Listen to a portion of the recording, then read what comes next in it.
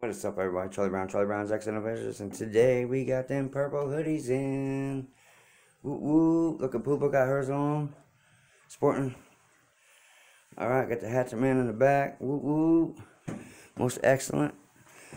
Turn that one over. Got the Hatchet Man in the back. Purple hoodies go good with black and white Converses. Some Vans. Forces. some definitely some Air Forces. Oh, that's fresh. Look, that's thick material. That ain't like that dollar store, middle of the mall shit. You know what I'm saying? That's that thick shit. You walk out in your fucking undies in the middle of a blizzard in the streets of Antarctica.